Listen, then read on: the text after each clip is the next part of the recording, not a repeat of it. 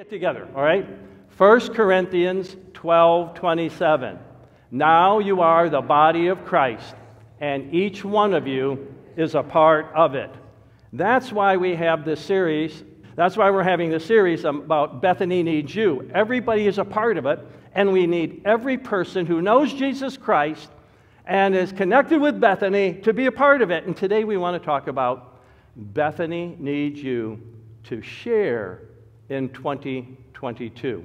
Now, my key verse for today is this it says, But in your hearts, set apart Christ as Lord.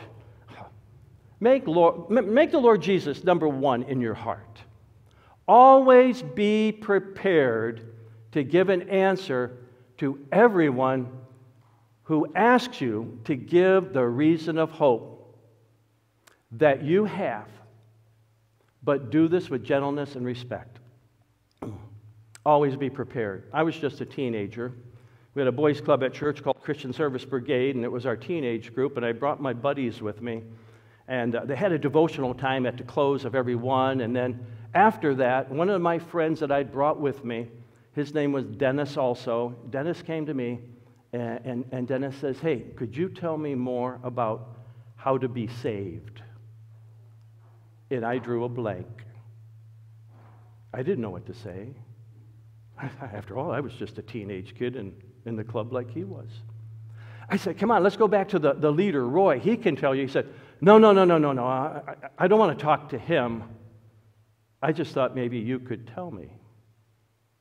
That was the day I realized I was not prepared to share my faith. And this verse is actually saying, be prepared to give the reason of your hope. I call that sharing. We need to be prepared. And so today I want to talk about the Apostle Paul.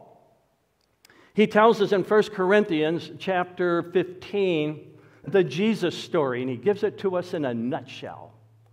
And, and, and you might want to read these verses over and internalize them because he tells us the essence of what you need to share.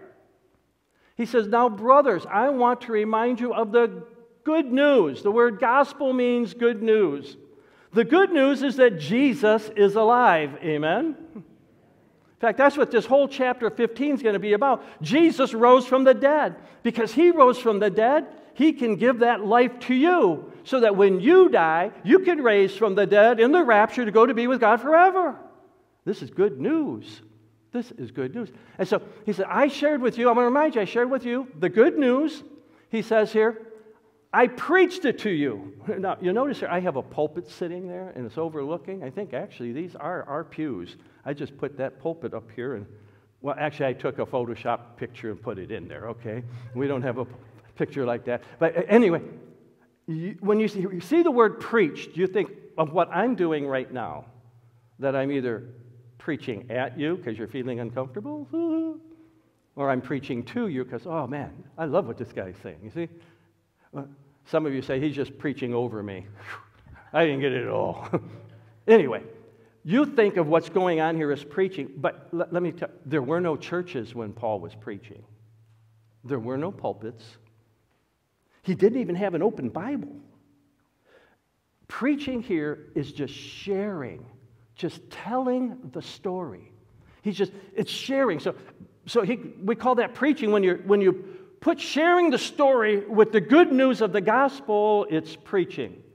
And so some of you are preachers and you don't even know it because you're sharing the story.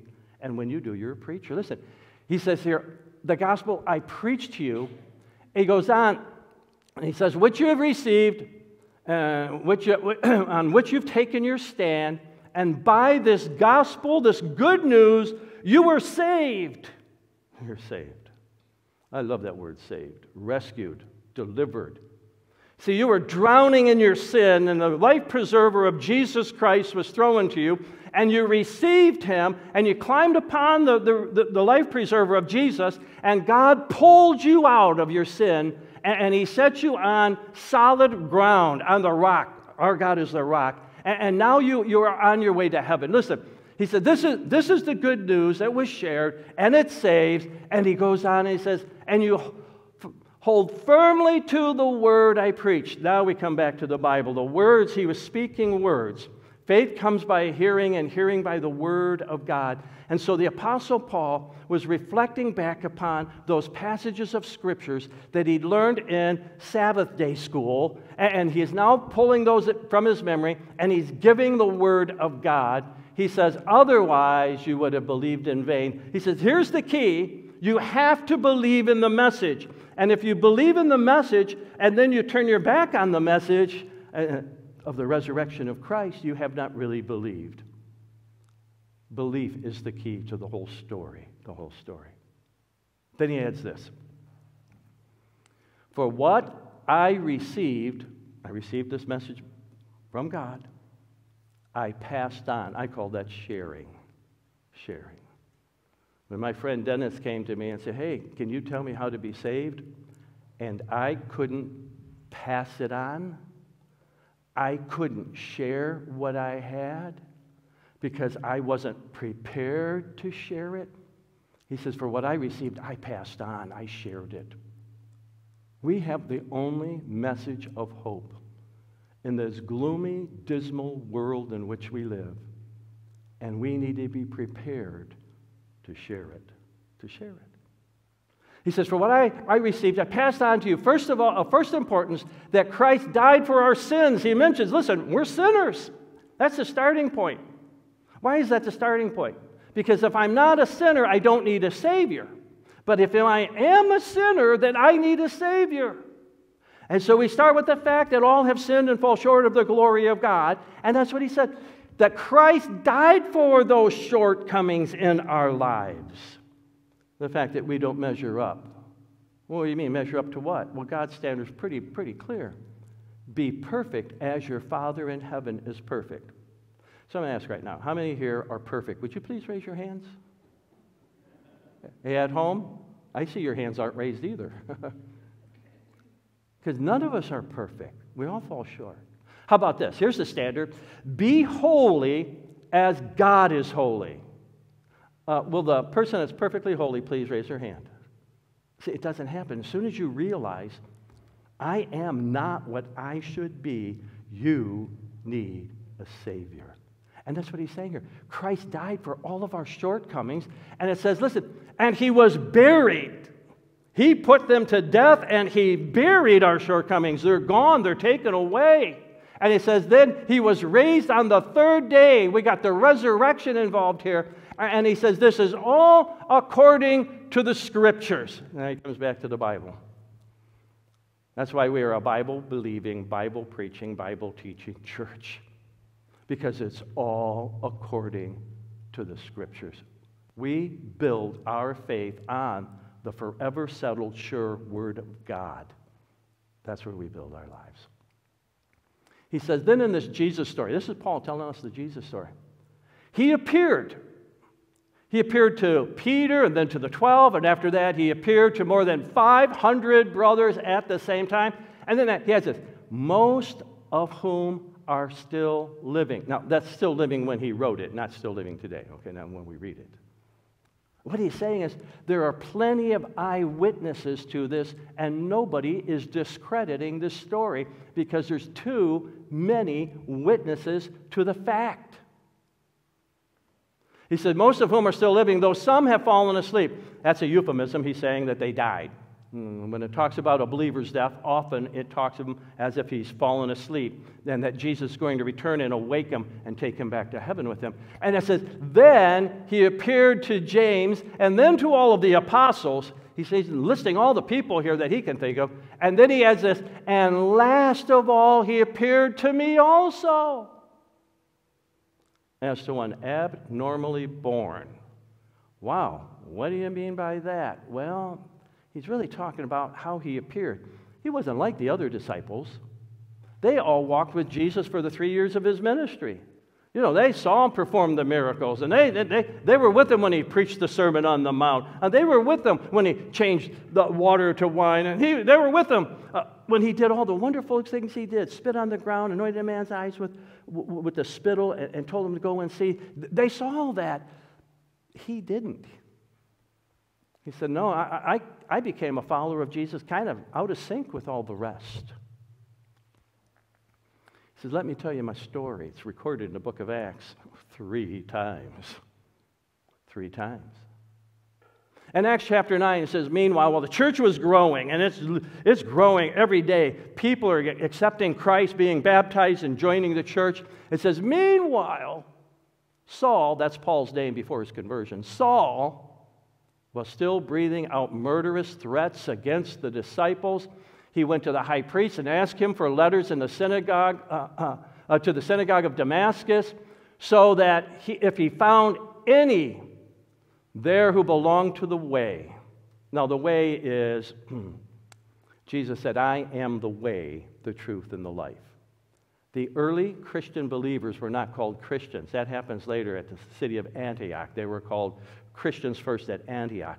At, at the beginning, they were called the people of the way because they thought Jesus was the only way. Huh, that's me. Jesus is the only way. I'm, I'm one of those people of the way. I'm also a Christian. I go by both. I go by a lot of names. I'm a believer. I'm one who trusts in God. There's a lot of names. I, I, am a, a saint. Go. Nobody ever calls me Saint Dennis.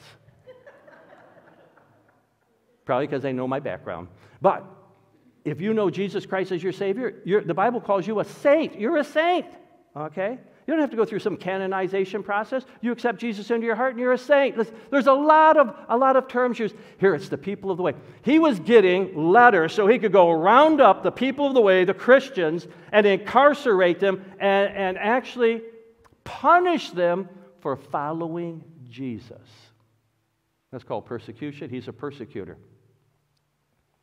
He says, I ask for letters in the synagogue of Damascus and so that if any were found who belonged to the way, whether men or women, he might take them to prison in Jerusalem, to Jerusalem. And so, as he was on his way to Damascus, on his journey, suddenly a light from heaven flashed around him. He fell to the ground.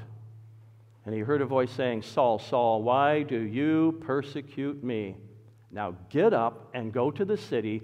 You must, and you will, will, will be told what you must do. And so he gets up from the ground. He's blind. They lead him by the hand into the city. A man by the name of Ananias gives him his sight back and commissions him to go preach to the Gentiles. What a conversion experience, huh? It didn't happen to me like that. Probably didn't happen to you like that either. You didn't get a flash of light, knock you off your feet, blind for three days till somebody gave you your sight back. You, you probably had a different story, but uh, Paul tells that story in, in the book of Acts, chapter 9. Then in the chapter 22, the story's told all over again. Paul goes back to Jerusalem, and, and they're about to they kick him out of the, out of the temple, and, and the Romans have him, and, and they're going to take him into the barracks. He says, Wait a minute, I got to preach to the people.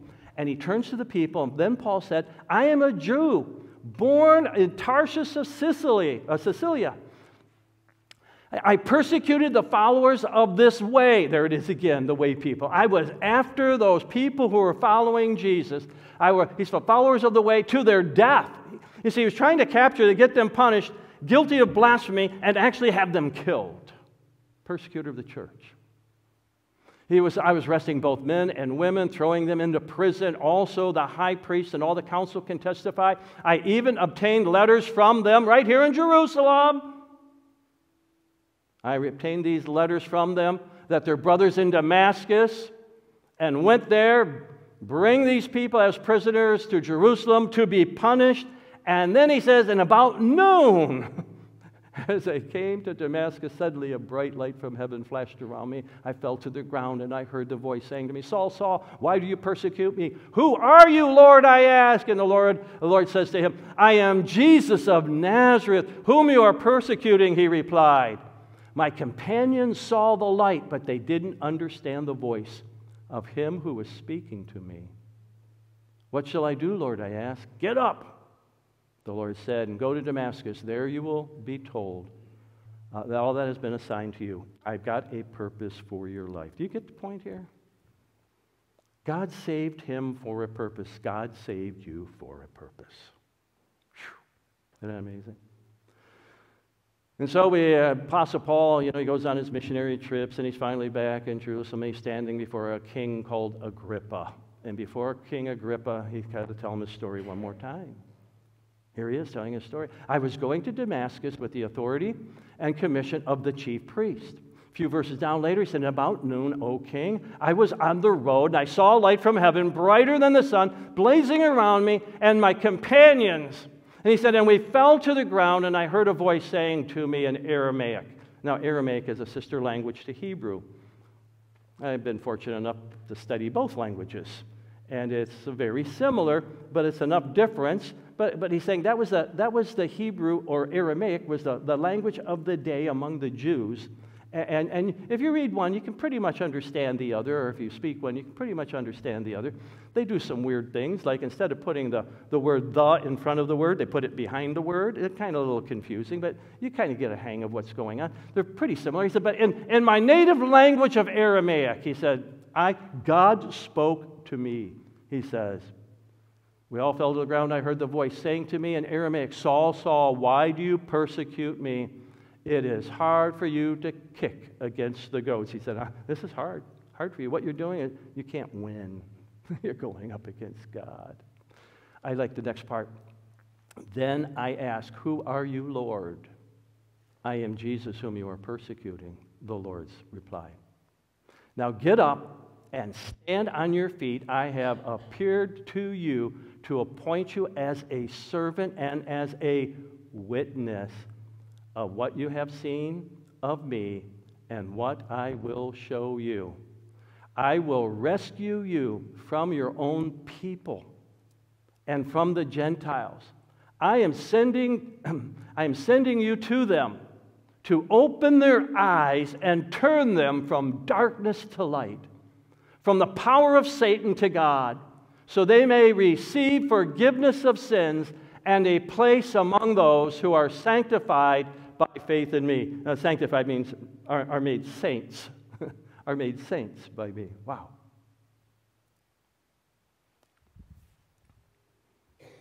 There I was, 16 years old. And my friend said, What do you have to do to be saved? And I didn't know what to say. God says to the Apostle Paul, This is why I'm raising you up so that you can remove the blinders from their eyes. I could have removed the blinders of his eye if I had just been prepared. I could have offered him the forgiveness of sins. I could have offered him to stop living in the kingdom of darkness and live in the kingdom of light, to stop living for Satan and living for God, but I wasn't prepared. You get the picture? Three times in the book of Acts, this story is told, and I often wondered and said to myself, why? I got it the first time he wrote it in the book of Acts. Why? You want to know the reason why? Because we don't just tell our story once, we should tell it all the time. All the time. All the time. So I'm going to tell you my story for the umpteenth time. Yeah, I'm going to tell you my story. You remember how it was? I told you this on the first Sunday I came here. First Sunday I came. I grew up in the Berean Baptist Church of Detroit. It's on Five Mile Road, just off of Grand River uh, in, in Detroit, near the Southfield Expressway. All right? From the time I was two years old till the time I went to college at 18, 16 years, in my formative years, I went to the Berean Baptist Church of Detroit, Michigan. It was at the Berean Baptist Church in Detroit, Michigan, that they had Christian Service Brigade, which is kind of like Boy Scouts, only with a Christian application. We had to memorize Bible verses. The second Bible verse I ever memorized was John 3:16 because the first one was Isaiah 53:6. And in John 3.16, how many here know it? You know it. Come on. Everybody, you probably got it memorized. At least you've heard it before. You've seen it raised in the end zone. John 3.16. It'll probably happen today at both games and probably two weeks from now at the Super Bowl. Somebody will be there with John 3.16 raised up in the end zone. I memorized John 3.16. And as a result of memorizing those verses and a bunch of other verses, because that was a weekly assignment. I would memorize verses. I memorized more verses than any of the other kids in the group. I don't know why. I didn't even know there was a contest going on. I won Honor Boy. Honor Boy was the one who memorized the most verses. The award was you get to go to Camp Cascatawa. Now, Camp Cascatawa was like our Camp Lael, only it was just for boys. And so I go to Camp Cascatawa, and every night at Camp Cascatawa, they have a bonfire. You wait till it gets dark. Now, in the summertime, you know, that's pretty late. So we're staying up late. We're, we're loving this, you know. And so the guy gets up, we sing songs, and, and, and then he gets up, and, and, and one of the leaders preaches. And that night it was the Reverend Elgin Green. We called him Cap Green because he was captain of the camp. Cap Green got up and he told the story. That's what we called it, the story. That's what I'm talking, my story. He told the story. And when he told the story, at the end, it was like Billy Graham crusade. If you would like to receive Jesus as your Savior, raise your hand. I raised my hand. Another kid raised his hand. So there were two of us. He said, Okay, at the close of this uh, bonfire, you all go down to the pop shop. Well, the pop shop's where you got pop, candy, and goodies.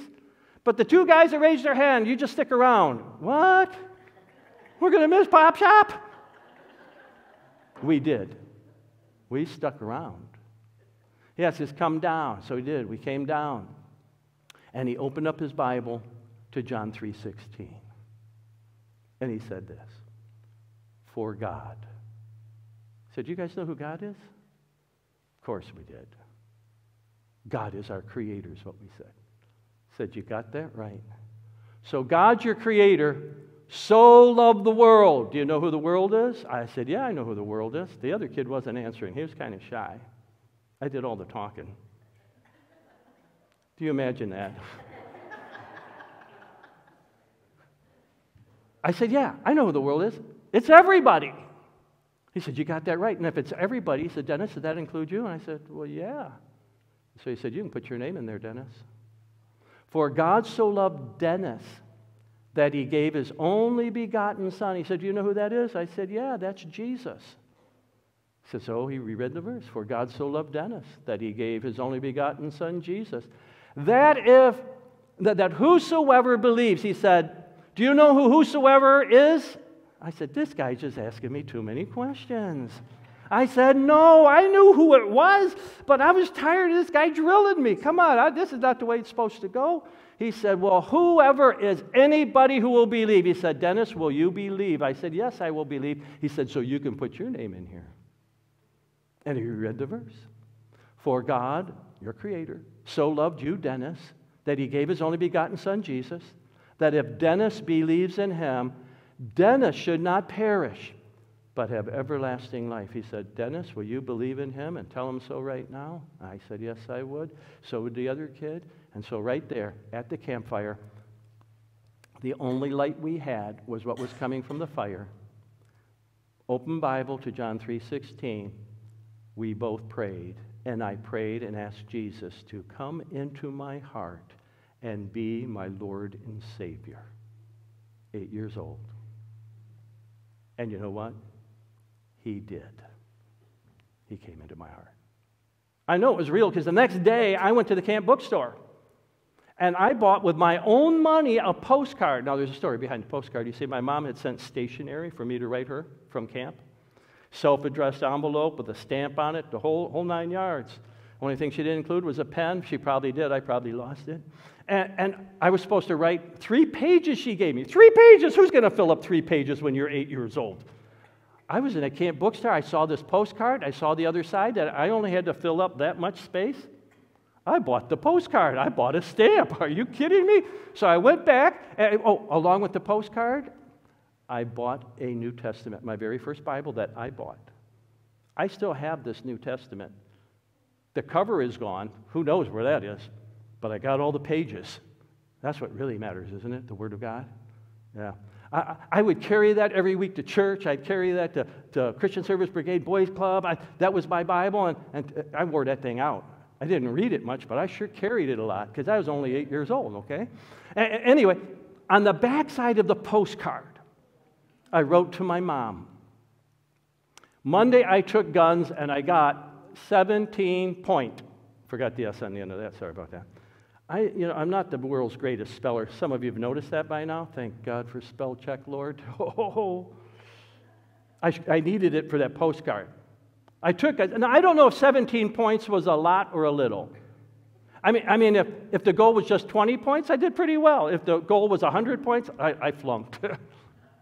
of course, the guns were BB guns, and I thought that was a big deal, right? BB gun, shooting BB guns at eight years old. It says, I'll send a letter later, or no, pretty soon. I'll send a letter pretty soon. And then it says, I got, now the next word was written, erased, written and erased. And I finally settled on, I got staved yesterday. S T A V E D. I got staved. I didn't even know how to spell it, but my mom knew what happened to me. She saved that postcard, and I still have it today. Yeah. I wrote home, told her all about it. I didn't know how much of a theologian I really was at eight years old. Because you know what? I really got it right. That was not misspelled, that was a providential guidance from God. Because the word stave, all that means is a board. A. A stave company takes the raw lumber of logs, the raw lumber, and they run them through planers and cutters and they make staves out of them. They're a stave company. They make boards out of those. And the boards upon which Jesus was nailed are staves. So I got this theologically correct.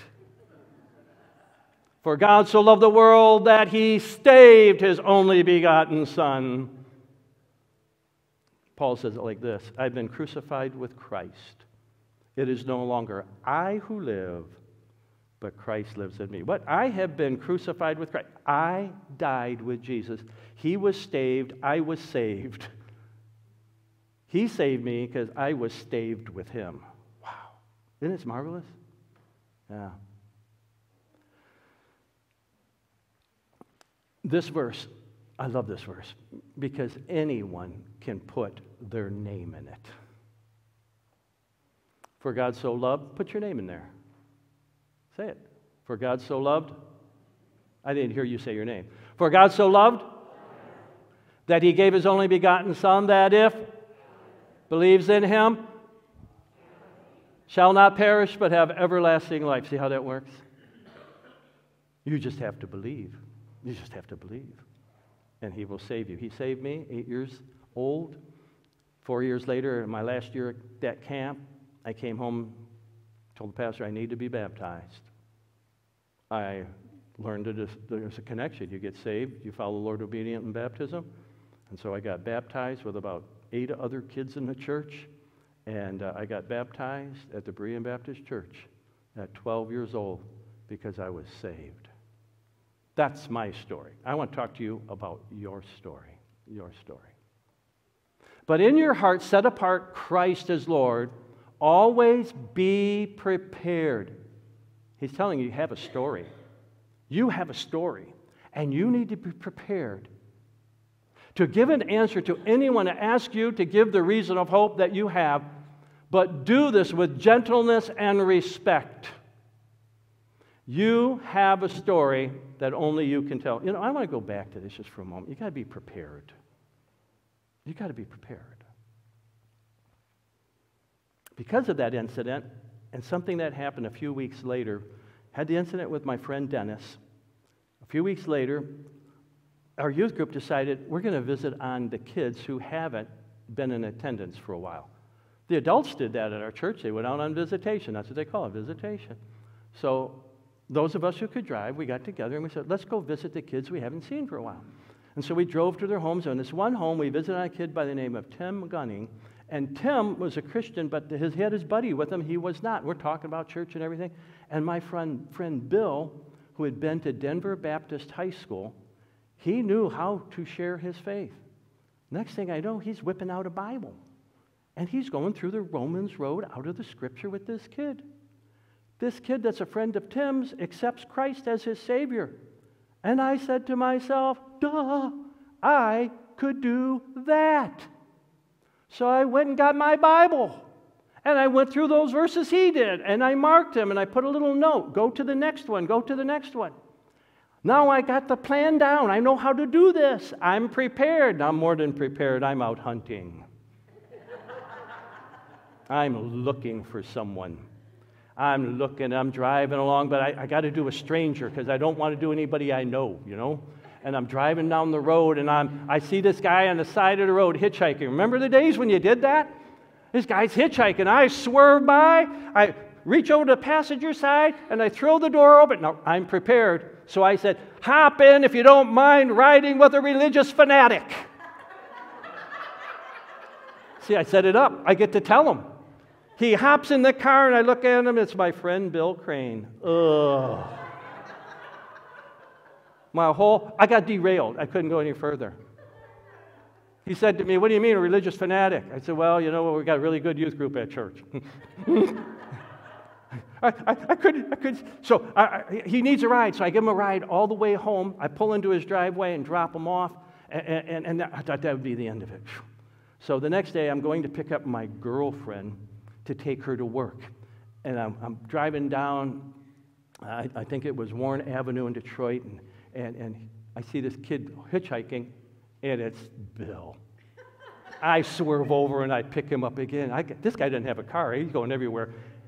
You can't even afford the bus. Come on now. And so, but, but he hops in, and now my girlfriend and I were talking about youth group. He's in the back seat, and we're talking about youth group and all this. And, and so I go and I drop my girlfriend off, and, and he jumps out of the back seat, hops in the front seat, you know, we're riding shotgun. And, and so uh, uh, we start talking again, and, and, and finally I just, okay, I got to do it. And I said to Bill, I said, Bill, are you a Christian? He says, no, but I'm going to be. That was not in my game plan. so I said, What do you mean you're gonna be? He says, I'm gonna be as soon as you tell me how.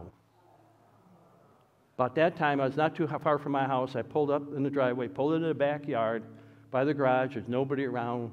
And, and I have this Bible in my back seat of the car. I pull it out and I show him how. And Bill prays in the shotgun position of the car and asks Jesus to come into his heart and save him as Lord and Savior. I then take him home. He comes to youth group and brings his brother. His brother gets saved. His brother then says, We ought to bring our sisters, brings two sisters along. They get saved. Parents start and think, What kind of cult are my kids in? they come to church, they get saved. The whole family gets baptized. You know what? all because I was prepared to give an answer for the hope that is within me. You can be prepared too. See, you have a story that only you can tell best. You know what? Paul can't tell my story that well. I can't tell Paul's story that well. I try, but there's just no way I could tell the Apostle Paul's story like he could tell it. Nobody can tell your story like you can tell it. That's so important, so important. So you need to go and tell your story. That's all you got to do. Go and tell your story. You just tell them how God saved you.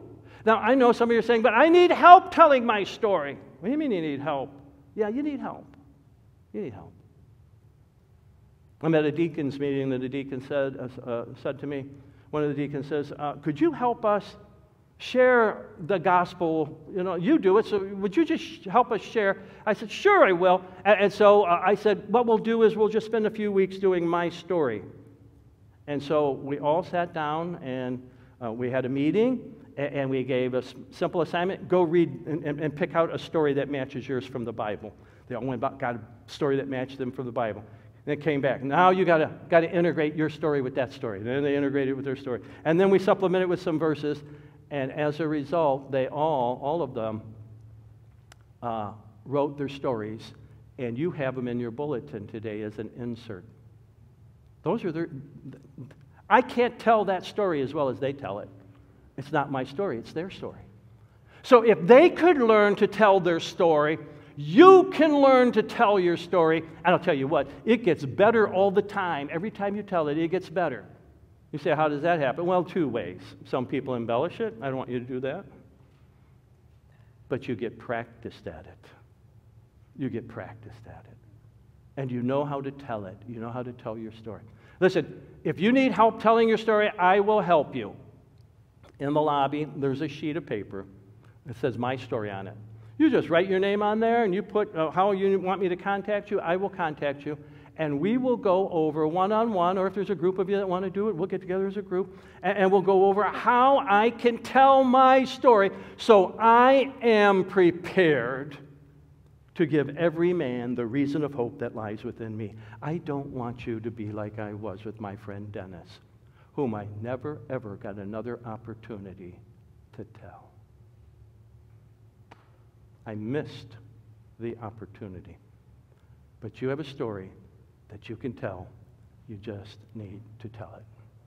So let's pray. Father in heaven, we're so very thankful for the gospel story, good news. Jesus died for our sins, he was buried, and he rose again, all according to the scriptures.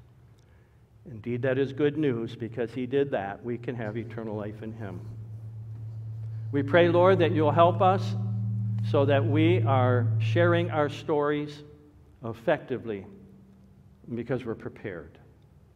Now, Lord, if there's someone here who says, you know, I, I, I don't even know that I have the story like you have to tell, uh, maybe today they would just pray, Lord, come into my heart and save me from my sins because I believe you died, were buried, and rose again, all according to the scriptures.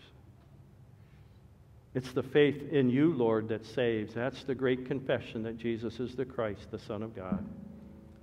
And believing we are justified, declared to be righteous in your sight, pardoned and forgiven. And so give that assurance to the one who prays that prayer. Help the rest of us, Lord, to share that story, even this week. And those who need help, that they just sign up and say, Help me with my story. For surely, Lord, we will. Bless us now in Jesus' name. Amen.